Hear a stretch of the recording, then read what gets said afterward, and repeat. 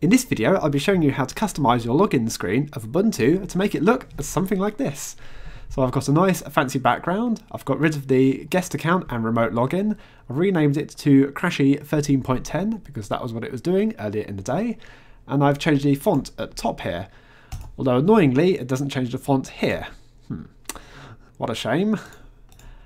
But yes, I'll be showing you how to do all that. Uh, now there will be a, quite a bit of terminal usage here. I'm sorry, but that's the way it is.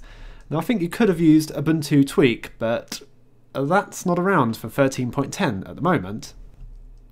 I'll start with backing up the old lightdm config file. Now we'll change a couple of the defaults. So you can just pop that command in and it'll give you a list of the options available. So we'll get rid of dash L the allow guest and type in false. And I'll also get rid of the remote login, which was dash capital R, and set that to false. Let's clear the screen. Incidentally, that's Control L to do that if you're interested. Now to start fudging a temporary logon for Light DM. And I'll switch over to the Light DM account.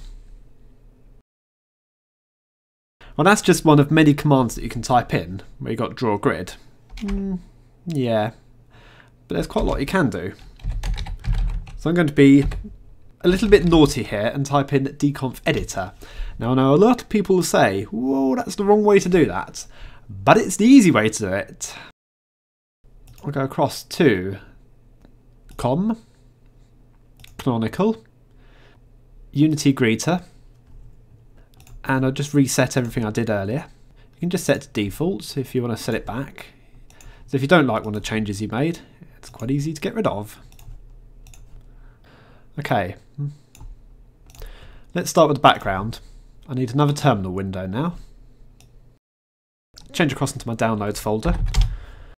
List of files, and I'm after the swirl one. I want to move that into the user share backgrounds folder. So I'm going to do sudo cp copy, swirl.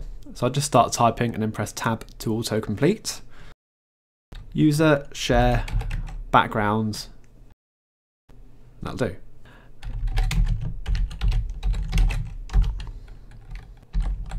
And in my pictures folder, I've got that joke logo. I'm going to leave that off for the moment. Incidentally, if you want to create your own, you'll need a custom image of 245 pixels across by 43 pixels high and in a PNG format. The background, as far as I know, can be either JPEG or PNG.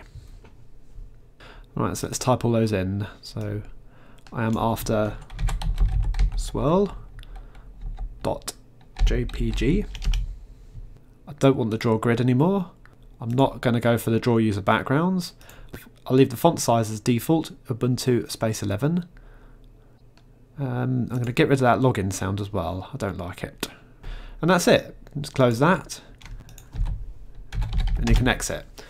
Alright, now we need to restart LightDM. One way of doing that, go to a TTY1, sudo service lightdm stop, and then lightdm start.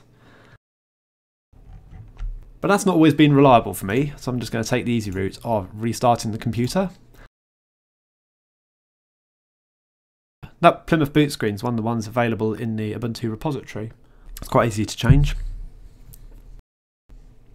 So I've got no guest account, no remote login, the Ubuntu logo is back to how it was, and the font's back to how it was. So that's how to customise your login screen in Ubuntu. Thanks for watching, see you later.